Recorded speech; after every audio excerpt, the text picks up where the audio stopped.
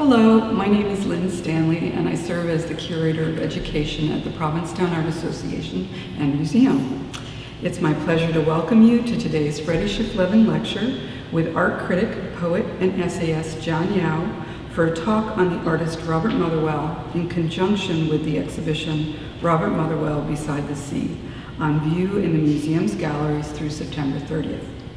This lecture series was begun in 2003 in honor of the artist Fredi Schiff-Levin, who was a member of Provincetown's arts community from the 1960s until her passing in 2002.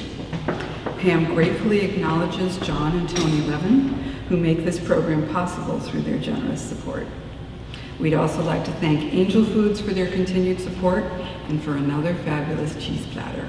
Please help yourselves to refreshments and visit Angel Foods located directly across the street.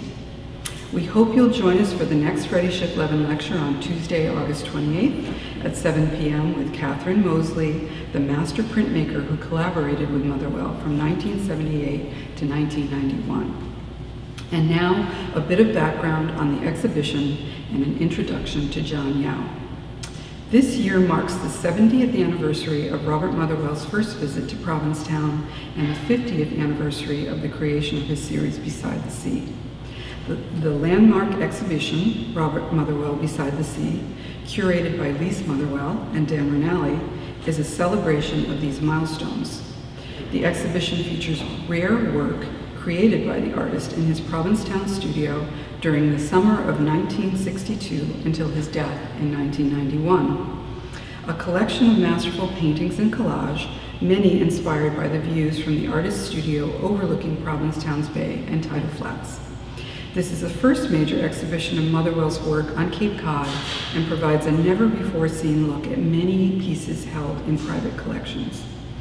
The poet, fiction writer, critic, and editor John Yau received his BA from Bard College and an MFA from Brooklyn College. He is the publisher of Black Square Editions, a small award-winning press which was published which has published poetry, fiction, criticism, and translations. In addition, he has published over 50 books of poetry, artist books, fiction, and art criticism, and has received numerous awards and grants, including a New York Foundation for the Arts Award, a National Endowment for the Arts Fellowship, two Ingram Merrill Foundation Fellowships, and grants from the John Simon Guggenheim Foundation. His latest books include A Thing Among Things, The Art of Jasper Johns, published in 2008 by Distributed Arts Publishers, Egyptian Sonnets, published by Rain Taxi this year, and Further Adventures in Monochrome, published by Copper Canyon Press, also in 2012. From 2007 to 2011, he served as the arts editor for the Brooklyn Rail.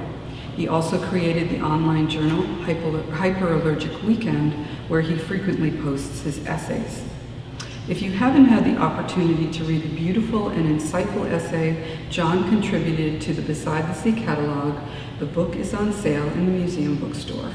Don't miss this opportunity to own a copy of this historic text. Along with John's prolific literary output, he finds time to teach in the Mason Gross School of the Arts at Rutgers University. We are thrilled he is able to join us to discuss Robert Motherwell's work today. Please help me welcome him.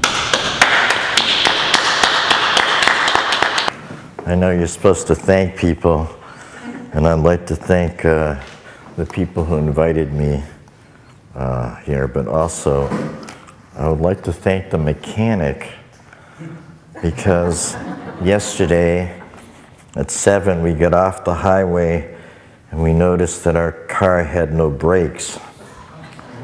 And uh, we were in Milford when we did this, and uh, we passed a an auto mechanic that was open at 8.30 at night and drove in and they only fixed trucks and buses.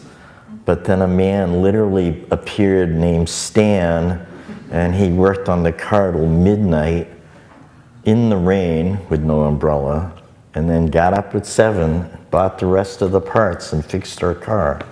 And he said i don't like to see people in trouble. It's very untypical, it seems to me, of most Americans.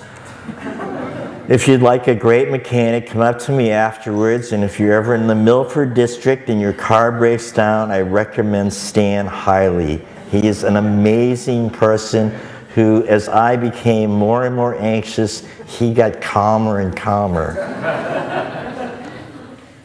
All right, so I was trying to think of what to talk about, but Robert Motherwell, because I didn't want to just read my, read my essay.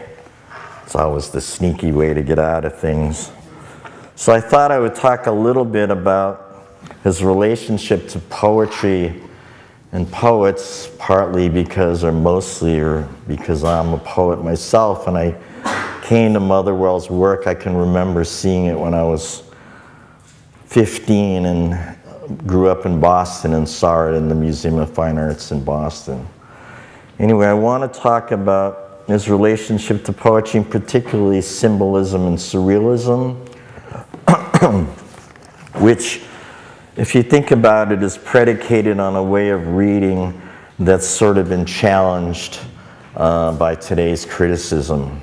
All right, because today's criticism is, is more literal minded and it believes that, for instance, paint is just paint and that meaning has been driven out of painting to some degree. There is this kind of premise about that in New York. And Motherwell, I think, is the one abstract expressionist who actually directly responds to the challenge of minimalism and to the challenge presented by Stella when he says, What you see is what you see. And that the work will change around 62 up to 67 with Beside the Sea, Lyric Suite, and the Open series. And I feel like that aspect of Motherwell's not really been discussed fully enough. And I actually think that it comes out of his own uh, understanding of philosophy and poetry. All right, so in addition, I mean, just a kind of a little background of Motherwell, in addition to making works that referred to poets and poetry, such as Mallarmé Swan in 1942, Motherwell is the editor of the important anthology Dada Poets and Painters, which exerted a profound influence on a generation of poets who emerged in New York in the early 60s, the so called second generation of the New York School of Poets, including Ron Padgett, Ted Berrigan, Dick Gallup, and Joe Ceravolo. I remember when I got to New York and I met uh, Padgett and Berrigan among the first things we talked about was whether I own the book Dada Poets and Poet Painters. And like if I didn't, there was something wrong with me. So instantly, I don't remember if I did own it and lied or I, whatever, but I owned it, as they say. and then uh, the, the, the other book that was really important, particularly for my generation, would be the New American Poetry the New American Poetry 1945 1960, 65 that came out that was edited by Don Allen. And this anthology included poems by Frank O'Hara, who curated Motherwell's last uh, retrospective at MoMA in 1965. And uh, I don't know if any of you have ever read the criticism of that uh, uh retrospective, but by 1965, a lot of the New York art world was uh, preoccupied with Andy Warhol and with minimalism. So that retrospective was actually got quite a lot of negative criticism, which I didn't really know till I started reading what was being written about it and completely surprised by it. Um, but the other poet that was in that anthology was uh, Robert Duncan, a poet who taught at Black Mountain College. And uh, the reason I mentioned Duncan is because there's an intersection between Duncan and Motherwell, which is hardly ever discussed, and that's the painter Cy Twombly. All right, so Duncan is at Black Mountain College and teaches, is teaching there when Twombly's a student. At some point, Twombly also encounters Robert Motherwell. Duncan, uh, Twombly does the first kind of illustration for a Duncan broadside published in Black Mountain called Song of the Border Guard. Now, beyond this historical fact of these three people intersecting, the one thing they seem to have in common is a love of symbols and the symbolic language. Two, the other thing they seem to have in common, unlike any other of the abstract expressionists, particularly, uh, uh, Motherwell was interested in history. That's after all the elegy for the Spanish Republic. It must be seen in some regard as a history painting. And it reminds us, if we don't really wish to remember it, that while the Germans and the fascists were defeated, they also triumphed in Spain. So in some sense, you could see why that elegy series could keep being made. It's not like the war was over just because the war was over, because there was a man named Franco around. Um, anyway, uh, Twombly has a strong love for the Mediterranean, moves to Italy, makes a lot of paintings based on history, on, on events, and also on literature. He bases a whole series of poems on John Keats, various other things, also on Egypt, why I'm wearing my Egypt t-shirt. Um, so I just want to mention that because I feel like it's part of a mix that never gets discussed. Okay? So one of the things that um, Duncan said in a letter written to the poet Helen Adam is uh, this statement It's this that I admire in the surrealists the powers of the word rather than the power of the word. I reach for that distinction. Okay, so Motherwell has a long and deep relationship to surrealism. I think, I believe he first came to Provincetown that he was hoping to meet Mac, hang out with Max Ernst and Peggy Guggenheim, but Max being German, Americans being at World War II, German submarines, Max was not allowed to live on the coast. He had to move inland. Meanwhile, the Japanese had their own problems on the California, but we won't go there. Anyway, uh, and I believe he came with uh, Matta, but I'm not sure. But certainly Motherwell and Matta had a long relationship. So, what does that mean? He's interested in surrealism. He's interested in the possibility that a word, or I mean, that a work could be could be uh, inspired by a dream, by an accident, by something unexpected, a rupture. That's something that would appeal to Motherwell and Duncan that he would understand that language was not literal. I think this is really important because I think there is this kind of argument going on as to what meaning is. What is meaning? We argue over it all the time, and everyone wants to, or many critics, such as Clement Greenberg, wanted to propose a certain kind of reading. And Motherwell, I think, as much as he was kind of embroiled in all that, had to find his own way and actually stood against the notion of meaning being reductive and reading being reductive, that he stayed true to his symbolist roots. All right? So, for that, he would understand that color and an image could stir up memories, it could stir up feelings, that paint was more than just paint I think literally, as Stella says, I want my paintings to be good as the paint in the can. He kind of comes up with this literalist reading. All right. In this regard, Motherwell stays true to his symbolist roots, but at, in the 1960s, Stella says, What you see is what you see. And he challenges Motherwell. And it comes at a time when Motherwell's retrospective, particularly with the elegies for the Spanish Republic, get a bad press they get a kind of negative reaction.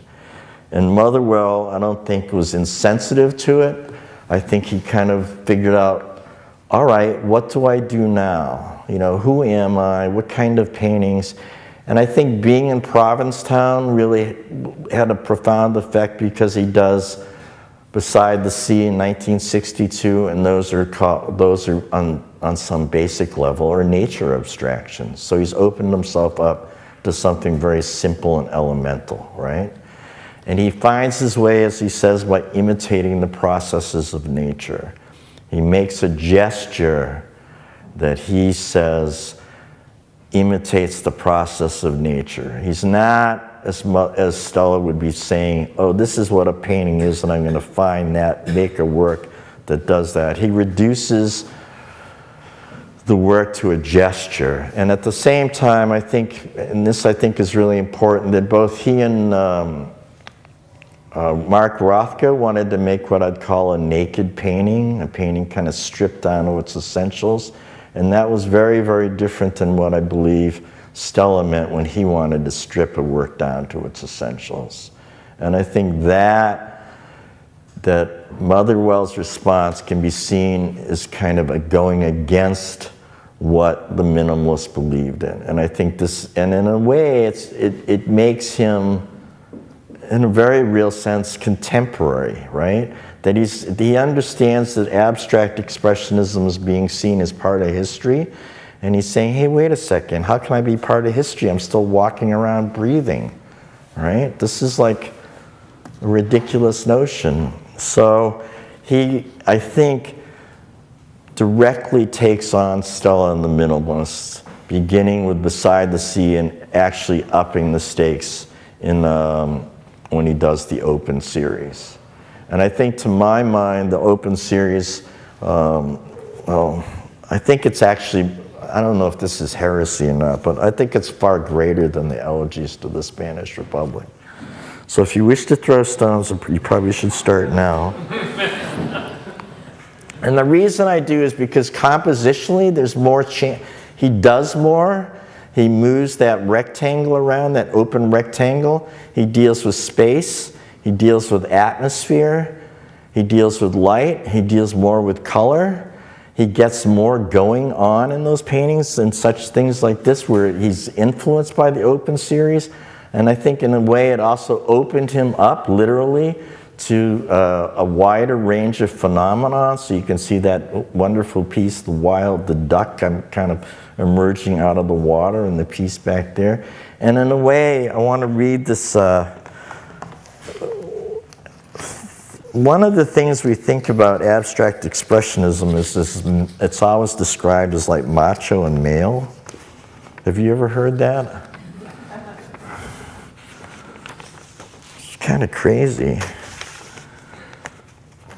So, here's what Barry Schwabsky said about the poet um, Stéphane Mallarmé, and it made me think of Motherwell when he started doing the Open series and uh, Beside the Sea and Lyric Suite. The language is spare and aerated. The lines seem to float across each other, creating contingent linkages from one to the next. An ally to the structural change is an emotional one. The poetry is overtaken by a profound tenderness. Now think about that. I mean, because the elegies to the Spanish Republic are all about tragedy, right? And in a way, if you look at these paintings, they're not about tragedy, or they're not about tragedy in that kind of dramatic way that the elegies were. And I must admit, at 16, I loved the elegies. What 16 year old kid wouldn't love the elegies? They're tragic, they're in black and white, and they're about something awful. I was like smitten, smitten. Okay? I mean, there, you know, there's certain works that speak to you when you're a certain age, like Love Song of J. Alfred Prufrock. I was smitten. I'll never be like that guy right? I won't wear my trousers rolled. You'll notice they're rolled. so I think, but I think really Motherwell changed. I think, I mean, and we, we don't, he gets seen in a certain way, and then somehow we can't change how we look at, at certain artists. They're fixed. And I think we have to kind of learn to change how we look at artists. I think we have to keep our minds open and our eyes open because I think artists often the, the best keep changing and we we're too dumb to change. Like oh i'll just stay here. All right? So the poetry is overtaken by a profound tenderness. The poem does not defend but rather opens itself. And i think literally motherwell in beside the sea and lyric suite in the open series opens himself up. Opens himself up to trying to do more, have more possible readings of his work. He wasn't going to keep it into one thing. And because the poem does not defend itself, but rather opens itself up, even one might say submissively to the world, to nature, to the other, one does not feel the poet imposing his narrative on things, but on the contrary, seeking As the first line of one late poem has it, to insert myself into your plot. And I think really, if you think about Lyric Suite, he decides to do a thousand drawings. I mean, that was like so inspiring as a writer because writers, I mean, any writer, no matter how smart they are, figures they probably know nine things. So if they have to deal with doing a thousand, you're going to get beyond anything you know, right? And he, and he actually does 565 in two months, right? And he only stops because his friend David Smith dies in a car accident. And it so kind of overwhelms him so much that he stops and then he really feels like he can't start the series again later. But his goal was to do without. I love the idea of setting yourself a goal. Do a thousand of something, do a hundred of something. My students, there's some of my writing students here, they know that I'm up. I only tell them to do 12 or something. All right. This is the method I believe that we should still be trying to follow. The method, to borrow a metaphor from another great poem, of letting the widowed stone of language divest itself fold by fold. And this is what I really wanted to kind of get to that in reading Motherwell's work, I think we have to, I think this is true of all great artists, that there's no single way, or all great poets. You don't read John Ashbery the same way you read Mary Oliver. If you can only read Mary Oliver and you think there's only one way to read poetry, you cannot read John Ashbery. If you read John Ashbery and think there's no other way to read poetry, you can't read Stanley Kunitz, Mary Oliver, any other number of poets, Alan Dugan. You have to learn to read a poet. And I believe it's true that you have to learn to read artists, that artists demand that of you that you take the time to learn how to read them, that you become sensitive to who they are without judgment, without preconceptions. And then it's, it's, it requires a lot of faith, it requires a lot of time, it requires a lot, but it requires one thing more than anything else, right? It requires that you love art. If you love art, you're willing to spend time looking at art looking at it, thinking about it, because it's like central to your life, right? You can't live without it. I mean, there's a thing on uh, the internet by Seth Abramson, A Hundred Ways Poetry is in Your Life. And I thought that was an interesting thing. I haven't read the list, but I'm scared to. So anyway, that's I think you have to think about Motherwell's work, and my sense is that the, that really being in Provincetown changed him, because in a way these are you know nature abstractions. He couldn't have done them in New York. I think it changed de Kooning when de Kooning moved to Long Island. It made his work very different, softer in some way. The light in the work changed.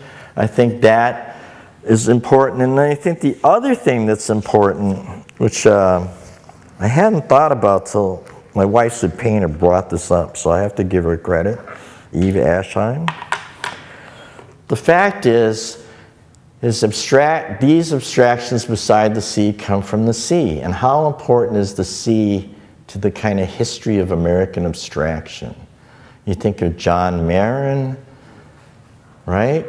You think of the sea, this kind of chaos being important. So there's John Marin, but then if you think of Jackson Pollock, one of his first breakthrough poems, paintings he titles Full Fathom Five.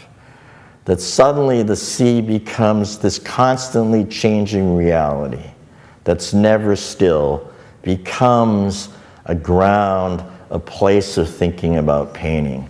And what does he make in these paintings with the, beside the sea? Maximum in, impact and complete dissolution this kind of one gesture. And yet, you know, you can see it as existential, which a lot of people do.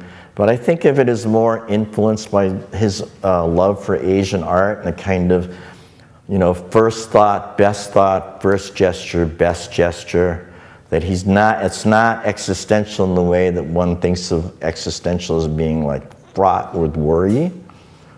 I don't think of these paintings as, as exhibiting or embodying that worry. I mean, he may have been worried before he made the painting, after he made the painting, but when he was making the painting, I don't think worry was like a big deal. Maybe I'm wrong. I think, I think worry gets overrated. You know? I really, I mean, I do because I, I always meet these people. Oh, I can't write. Oh, I don't have anything to write about. And it's like, they're not really gonna write. They're not really writers. They're just people who want to worry about writing.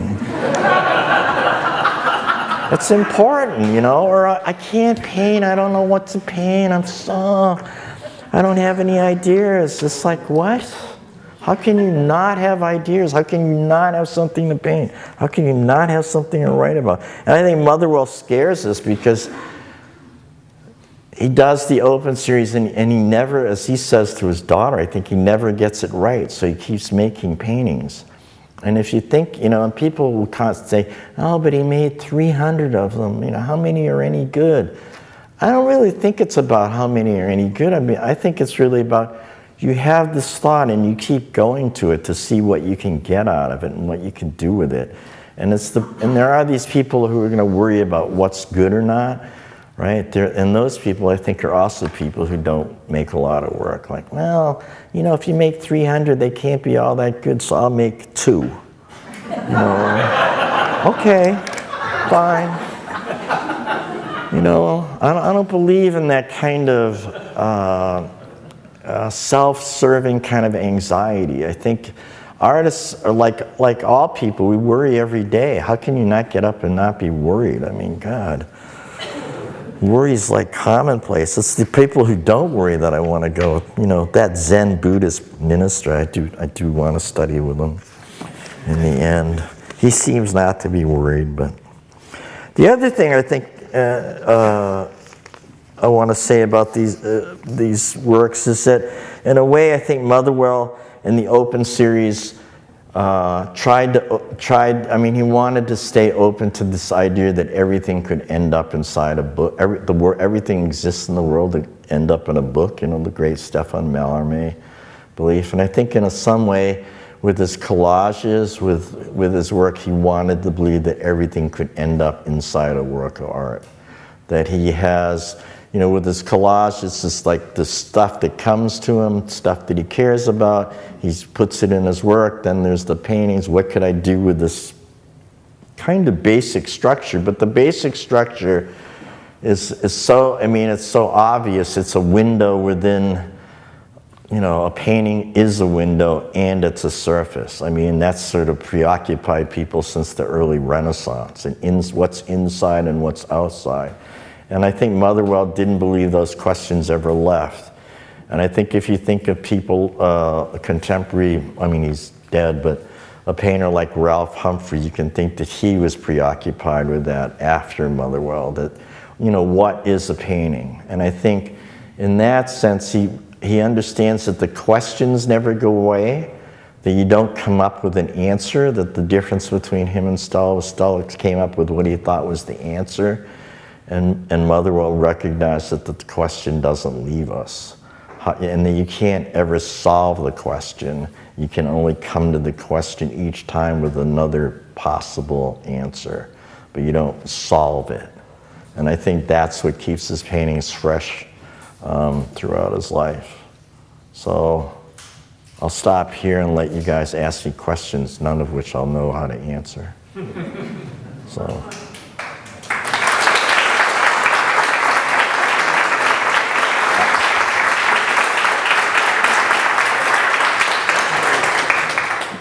Also, I mean, just elementally, I mean, just I thought, I mean, his colors are elemental, like the ochre, the blue, right? That he really gets everything down into this thing, but it's not, you don't feel like it's reductive. He always is able to do something more with it that kind of is striking, right? And uh, I mean, I think that side of him.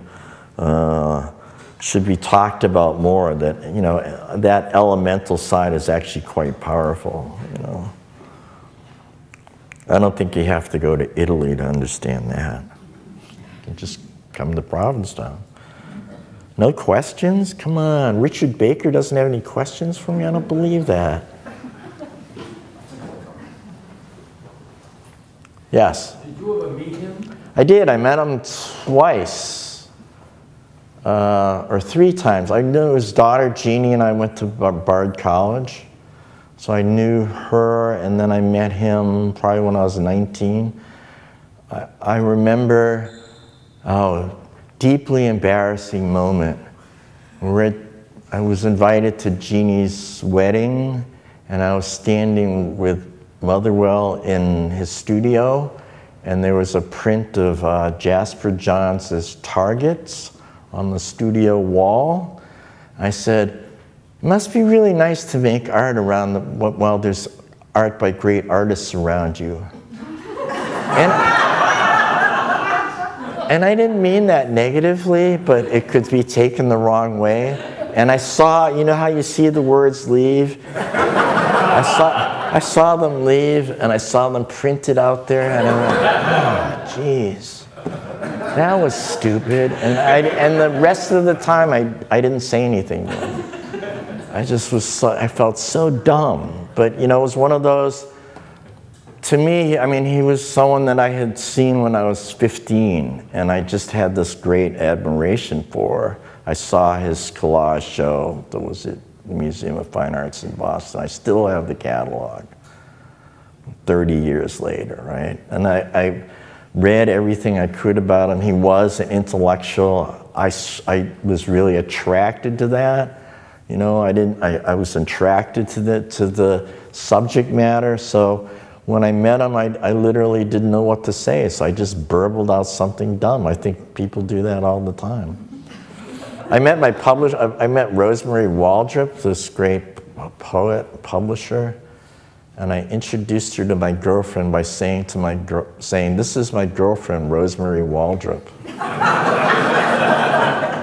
Freud would have had a field day with that, right? I was like, and my girlfriend just punched me. So that was the beginning of the end of that relationship, I guess. Anyway. Any other questions? I can keep going. Go ahead. Uh, did he write poetry? No. Or if he did, it's a secret. I think everybody writes poetry. And then there's some people are smart enough to not publish it, and other people are dumb enough to publish it. I think, I mean, because, you know, Jasper Johns actually did write poetry, but his comment to me was, doesn't everybody? So he may have written, he did study philosophy, he did, I think, he probably wrote, he wrote quite well, I think, when he wrote. So I think he probably did, but I think he probably hid them. Do you know his educational background? Yeah, he went to Stan, he went to private school in California, and then he went to Stanford instead of Berkeley because Stanford had smaller departments. He had gotten A's in the school he went to, and then he went to Harvard. He studied philosophy, I believe, uh, in Stanford and also at Harvard. And he talks about that Russell, Bertrand Russell, and Wittgenstein were the kind of, there was a sort of mathematical logic was the kind of uh, philosophy being taught when he went to school. He also studied with Albert Guérard, a great teacher of French literature who's, uh, I think, written a number of books that I remember certainly as a kid buying uh, that were really important as introductions to French literature. So he studied with pretty important figures, I think, who, who brought a certain, you know, quite a lot of knowledge to the, to the table. And um, he says that he became an abstract artist because he had studied philosophy and he didn't need to go through a kind of figurative period because he understood that structures had relationships to each other and that there was a kind of relation, you know, that he believed that. And so that he didn't uh, kind of suffer through the way, say, Gorky or any number of other artists suffered through trying to move into abstraction from figuration. Um, I remember as a kid being kind of wowed by the fact that he got to abstraction in a certain way working so fast. You know, I, re I remember that yeah, being really struck by that, you know. And I think if you go to the Clyfford Still Museum, you'll see he still went through a whole lot of stuff before he became Clyfford Still, and then he kind of hid it, but now it's all going to be public. Well, do you know if he went to any kind of art Hmm? classes or art school or anything? I feel like I'm interviewing you. Are, but that's okay. Um, no, I don't think he did. I think he studied. I mean, he went to Mexico with Matta. He kind of did these drawing things. He studied with Meyer Schapiro, who kind of kind of encouraged him to pursue art. But I don't think he studied it.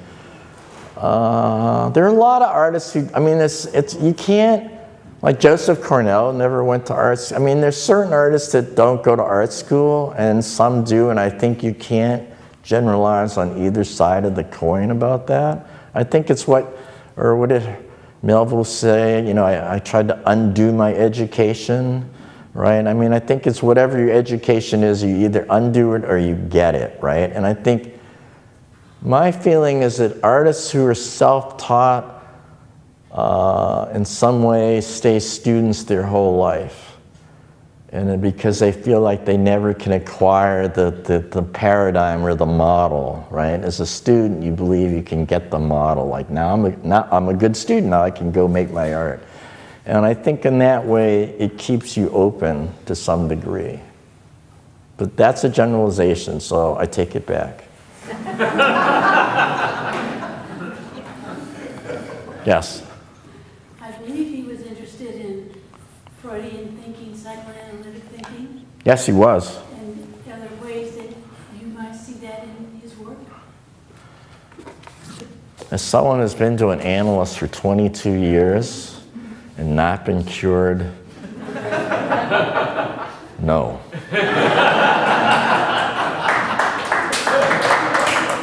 And the reason I say that is I think that you kind of can use that kind of Freudian model that was applied, say, to reading his uh, uh, elegies to the Spanish Republic in a way that I think diminishes the paintings or gets too reductive. So I, I think uh, I, I kind of avoid Freudian analysis when it comes to writing about stuff or looking at art.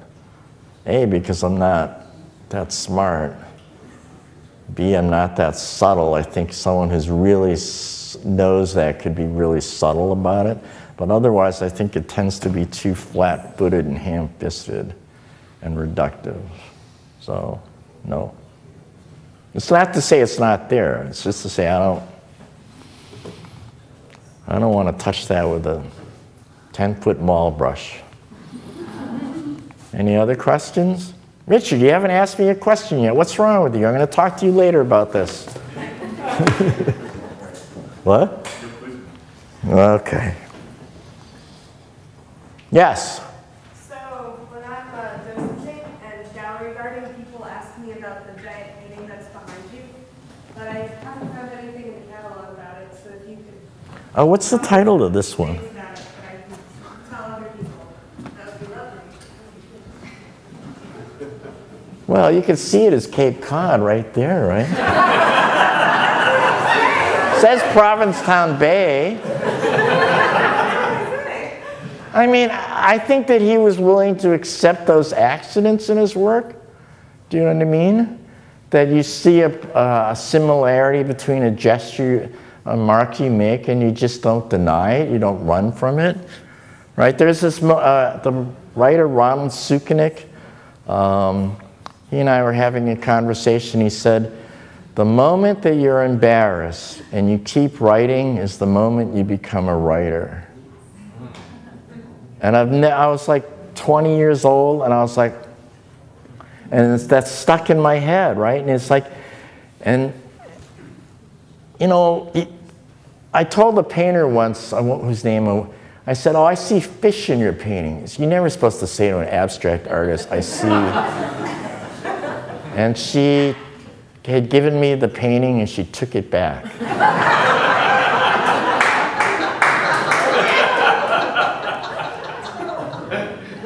And then years later, I, saw, I went to another poet critic's house, and that painting was there. And I had my moment. I could have said, hey, you know, I see fish in those paintings. and I decided, no, I'll just let it go. so, I mean, I think there's that side to it, and I think also the color, if you think of the color, it's really, it's about a beach, right? I mean, it raises up sand and stuff. And then once you say that, it's like, what kind of meaning do you want to get out of it? You know, like, like, what do we want from a painting? Because we go to, like, my, my, what, what, I mean, I think we have to ask ourselves, what do we want from a poem? What do we want from a painting? And what can it give us? And I think it's different. And I think maybe it's just the pleasure of looking at something where you see it and then it disappears and you go, no, it's not that. It can't be that simple. And it leaves you. And then you're left with some other kind of looking. So tell the people that watch them run out of this museum screaming. Yes? So what, what is uh, interesting is that when I, I was listening to you and just, you know, like everybody else, looking at that painting for a long time, and I'm thinking, you know, at Tàpies, I mean, for me, you know, this is clear uh, about Spain, and the color, the brown, that brown, that dirt, sienna color. Listen to her. See that? She got from Provincetown to Spain. yeah, that's there. And he loved Tàpies. He Tàpies had a lot mutual high respect for each other. They both wrote in their paintings, among other things. He recently died, Mr. Tàpies. He's a great artist. Come on, more questions. It's fun. I can just say things. Yes? Um, were there any poets that Motherwell really enjoyed reading or was very fond of? You know, like, Well, obviously, he and O'Hara knew each other and were friends. I think O'Hara was probably difficult for Motherwell, and I think uh, because O'Hara just being a kind of, but O'Hara also being a kind of amazing person and high energy, that I think Motherwell's like, ah. Um, I think he, I think he basically liked classical, you know, poets more than um, anybody else. He liked Eliot. Uh, he probably liked Pound less than Eliot, and I probably liked Pound more than Eliot. Um, and O'Hara, and he probably knew, you know knew the work of the. He obviously knew the work of the Dada poets that were in the book. Um, he and I didn't, I mean, we talked once briefly about poetry, but I, I just kind of felt too dumb to ask him about it. You know what I mean? Like, who do you read? You know, I didn't, you should really be able to go up to someone and say, who do you read? Right? You should. But the minute you say it, you feel like, that's just the dumbest thing. you know, like, you should be able to go up to Francis Ford Coppola and say, hey, what are your favorite movies? Who do you think's a really great director? You should. And they should be able to like not get defensive and hide behind something and say, "Oh, I really like the Ch- uh, Charlie Chaplin," or you know something unexpected. But I think we we train ourselves to give like the certain kind of right answer. And I think Motherwell probably was of that generation where he was a little defensive. So I don't think I actually had the conversation I should have had with him, to be honest. And I didn't get to know him well enough. Someone like Jack Flam probably could have told you better. You're not, what, what's the rest of the interview? Oh, yes, well, the last question died 21 years ago, so what happened to all of his work after he died? Well, the, usually when you die, there's an estate, right? An estate, in his case, was he prepared for this before he died, and he started what was the Dedalus Foundation. The Dedalus Foundation, yeah, all the work that was in his possession went to the Dedalus Foundation, along with, uh, I believe, all the books in his library. Actually, if you want to know what poetry he read, you should go to the Dedalus Foundation. You can ask them. His entire library is there, and it's pretty stunning. I remember sitting there uh, and thinking of what art books I would like to steal because they were quite, quite impressive. I love, I mean, artists, they're like Kitaj, for instance, had the greatest uh, Degas library that you could probably find.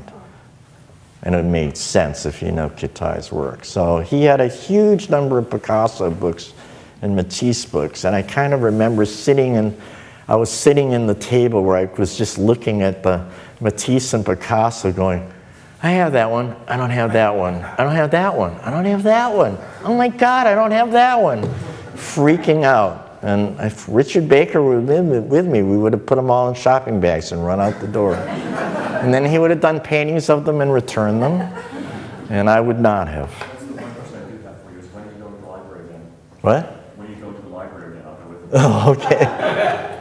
Probably in October we can go. It's a great library. Um, so anyway, there's an estate, and his estate was to, it gives away money for various projects that you can apply for, and the art is to go to museums and certain collections.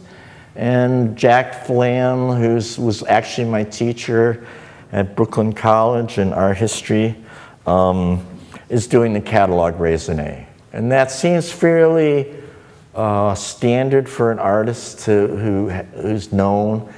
How does he or she preserve the body of work after they die, right? Because that is something to think about. And I think in his case, he was well known and he did make plans for how it would be taken care of, but also with the awareness that the money that would be made from the sales of his work should, among other things, go back into the art world. You can see that with the Krasner Pollock. You can see that with certain artists, and I think it's kind of wonderful. You know. Uh, is that it? Thank you. Oh, one more. Wait. Yes. This painting Yes. of the coloring book, I read it in there, because I understood it, that he made that by just putting his paintbrush and slamming it on The Yep, that's uh, that's. I mean, think about that. He just he, he did. He so he loaded the brush and he made a gesture, and he comes up with that. It's kind of beautiful in lyrics. You have as much as it's about no control. It's about a lot of control, right? You know, and I think that's. I mean, there's a really. You know, he was briefly, or not briefly, he was married to the artist Helen Frankenthaler, and I wrote about Helen Frankenthaler's relationship to Asian art. And, every, and a number of critics, one for the Wall Street Journal, said it was a fantasy because I was a Chinese American poet. I mean, it's as close to being racist as you could get without jumping off the bridge and into the. and uh, I, I pointed, and, and they said that she she didn't know she didn't care about Asian art, and I and E.A. Carmean, who actually did a Motherwell retrospective, the the collage one said that he, she never mentioned Asian art in her entire life in the 30 years she he knew Helen Frankenthaler.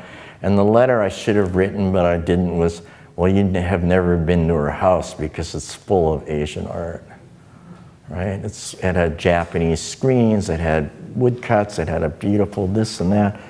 Motherwell was also interested in Asian art and read a lot about it, read a lot about calligraphy, and I think actually probably influenced Helen Frankenthaler to rethink her relationship to that.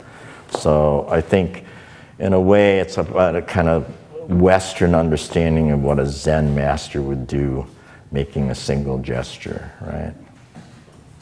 Which is kind of great because it's not like a bad imitation of Asian art. You know what I mean? It's it's it's its own thing, which is kind of great. you know? Thank you. You're welcome.